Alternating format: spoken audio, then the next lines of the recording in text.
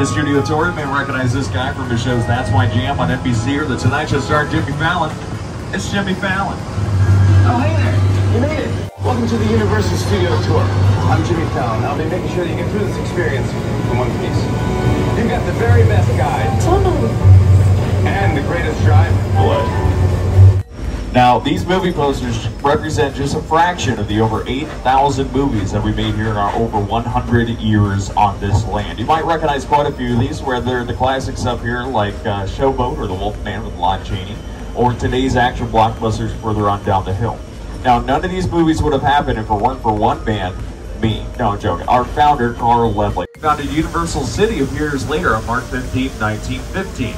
Now, the whole reason of why we were a company before a city is first one on our tour, stage 12. Over to the left-hand side as we round the corner, that is over 90 years old and 29,000 square feet. Massive space. Some pretty famous movies have been filmed in there. That is where they built Frankenstein's Lab in Frankenstein, 1931. It's where the mansion at Scarface, the clock tower back in the future, visitor center at Jurassic Park, the town of Whoville, the Grinch Stole Christmas, and exterior scenes there in Cobblestone Street were all built over the years. Couple of my favorite movies of all time have also been made on the inside of Soundstage 14. Back in 1982, a classic scary movie called John Carpenter's The Thing with Kurt Russell was made in here. Now that movie takes place in an Arctic environment. They pumped in so much air conditioning inside that building you could see the actors' breath as if they were outside the snow. Now, Ted is standing in front of some pretty cool buildings. These bungalows on the left-hand side used to be dressing rooms for Hollywood's biggest stars. People like Doris Day, Rock Hudson, Jimmy Stewart, Lucille Ball. Office spaces for some of the top writers, directors, and production companies in the business. Companies like Seven Bucks to the left-hand side, that's Dwayne Johnson's office, that's his production company. Right next to them is Monkey Paw Productions, that's Jordan Peele's production company. He's the man that brought us three movies so far, Get Out, Us, and Nope. Excited to see what else happens out of that office little alleyway branching off the left-hand side leads to Mark Platt Productions. He creates musicals all over the world. He created Wicked on Broadway and is turning that into two movies for Universal Studios. And a pretty famous office on the left-hand side, number 5195, once belonged to the incomparable Sir Alfred Hitchcock. The Metropolitan sets up here on the left-hand side are currently closed because American Ninja Warrior is setting up their obstacle course. This is where they filmed the Los Angeles qualifiers. They might have some of the uh, obstacle course built up, you can see some of the pieces over there to the left, but most of it is going to be on the other side down that road there. You can see a lot of it is already built. It's going to start all the way down there. You're sailing to a lost island, you're encountering monsters and creatures from, you know, prehistoric. Keep your arms and legs inside the vehicle. And I should also mention, no flash photography, all right? You can take pictures and videos, just turn off your flash. We don't want to scare the animals. Welcome to the home of King Kong, Skull Island.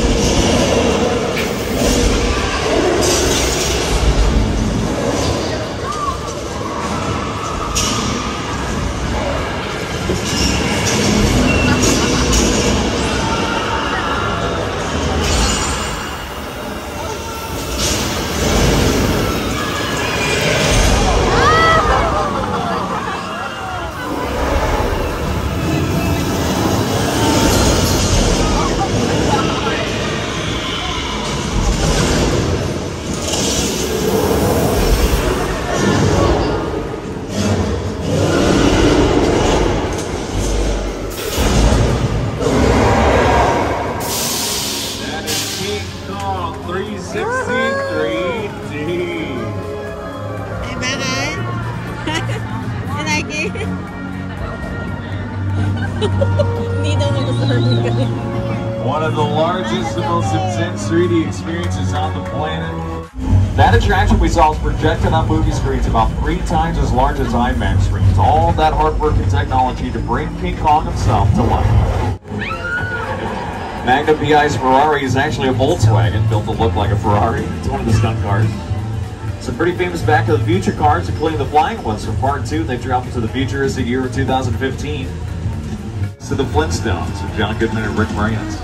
Flying car from Harry Potter. We have over a dozen of that picture car. They all look different though, ranging from pristine to post-swamping Lily. From Jurassic World, it's not missing the glass bubble. That was all done digitally because if we use a real glass bubble, all of the reflections would be of the camera and crew. You all remain seated for me? I know it's difficult to see, but if you all fall out, I get fired, and I actually like this job. So please remain seated. Now, we also have some pretty big picture cars on this road. You have this double RV looking vehicle on the left. That is the mobile lab that you saw in the Lost World Jurassic Park with Jeff Goldblum, Julianne Moore, and Vince Vaughn. Just like the tank we saw earlier, this too is made mostly out of wood, not only to make it easier to move around, but easier to push off a cliff, like they did in this scene. Take a look.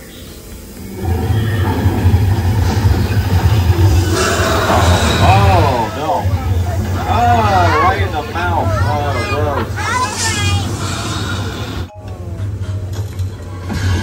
making a movie or television show, you want your set to be as quiet as possible. That's so you can hear your actor's voice. We're not recording any actors out there today. We don't need to worry about being quiet. That also means we can add our sound effects of thunder right here to set. Now the lightning we see is a big strobe light above our heads, pretty easy to do, and there's not a whole lot of sunlight out, so we'll just leave. But we still need rain, right? So I'm gonna go ahead and activate our rain effects. There you go. And just like that, you can have a rainy day. Now we get our rain by using a super high-tech, sophisticated system called sprinklers. That's all it is. As long as it's above what the camera sees, which is pretty natural. The raindrops are what are different. They're about three times the size of a natural raindrop. That's so the camera can see it a lot better. Our eyes can pick up so much more than a camera lens, right? So you need to put out a whole bunch of water, the raindrops have to be big, and you need to light it a whole bunch more as well. The issue is with all the natural rain we've been having, we're under a flash flood watch, so we cannot have this running for too long, otherwise we uh, run the risk of that happening. Hold your breath.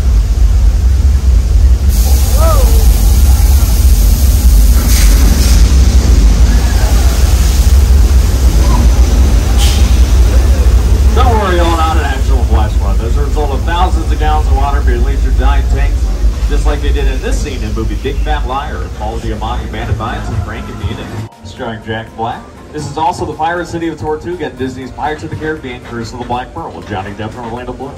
Reuse the same exact corner of Universal Studios, but we won't recognize it because they'll change it, and redecorate.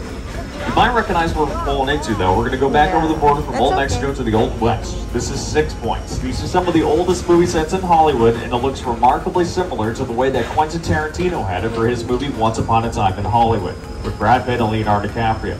Leo had great scenes inside that saloon there and all over this area. If you've seen the movie, anytime they're on the Western movie set, it was all right here in Six Points. This is where Dracula, Frankenstein, Wolfman, The Invisible Man all filmed. You, Eleanor Shellstrop, are dead. Cool. This location, the afterlife, come on. I've never ever seen this. You're in the good place. I'm not supposed to be here. So this main cafe that you see them, that is directly in front of us, right behind me. You'll see it on the left-hand side when we pull forward. It has these two blue doors. None of the original signage is still around, but the building looks remarkably similar. Is going to the bad place. Well, maybe it's not all that bad. How can I help you? What is the bad place like? I love The Good Place. I absolutely adore it. I think y'all should check it out. It is four seasons of a completed show. It is not canceled. It was just like a book. Here, Genovian Princess Diaries 2, A Royal Engagement. That was also a Parisian Cafe the Muppets movie. That's where Kermit and Miss Piggy sit down at a cafe.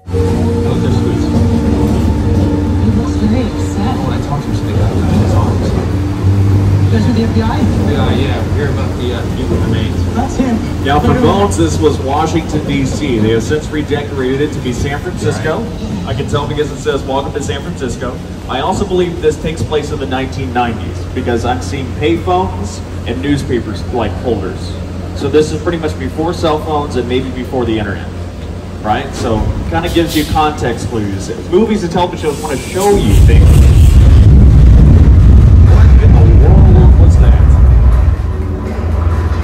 You know what that was?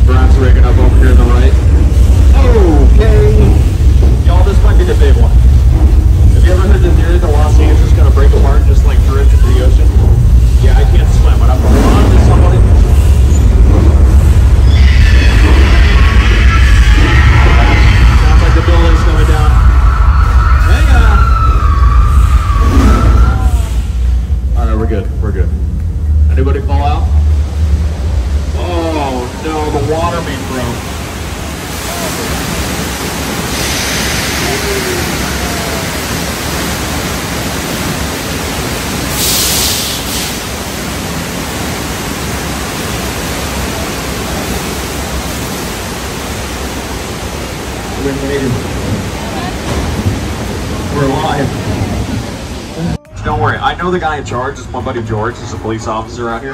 I'm gonna ask him to open up the beach for us. Just remain seated for the meantime. And stay on the water. Don't don't don't go in the water. That is a massive shark. Don't don't go in it. Where's George? That's his pose. He's in the water. George! George. George! George! You, you okay? George!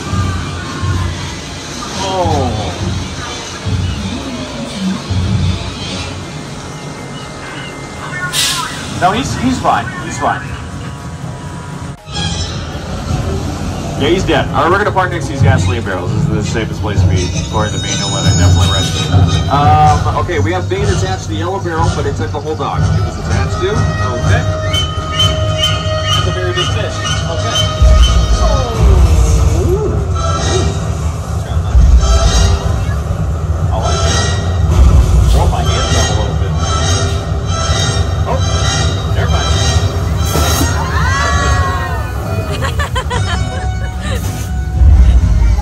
We're gonna need a bigger It's okay. Nakita mo shark? A little bit. Did you see the shark? Congratulations, everyone who survived an attack by Bruce the Shark. Get on, Bruce. That is Colonial Street. It's currently closed as they strike the set of a movie that's been using it for the past few months. Strike is the process of when they take down what they have added to our sets. Mini Cooper belongs to Mr. Bean. Mr. Bean on holiday. That's Dominic Toretto's Black Dodge Charger front and center. The orange Julius is one with the ejecto seat in Too Fast, Too Furious.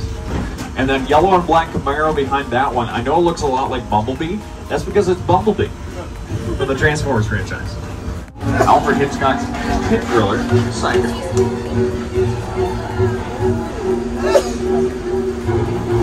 We all go a little mad sometimes. Now, the motel that we see is actually from the sequel, Psycho 2.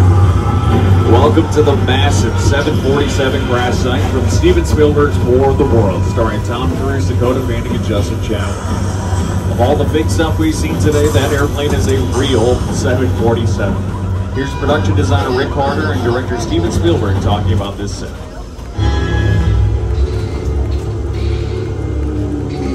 The airplane crash site set is a perfect example of a set that is all designed around of Spielberg. We again to sit down to talk about the War of the World. I thought, what if the 747 goes down right in a big neighborhood? There's often in the hundreds work together to take an impossible notion and bring it to life.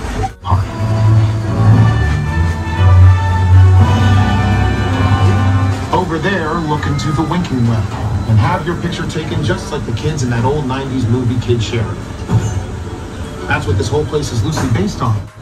A little further down, you can see the brand new Star Lasso experience. Built to showcase an unbelievable new live show.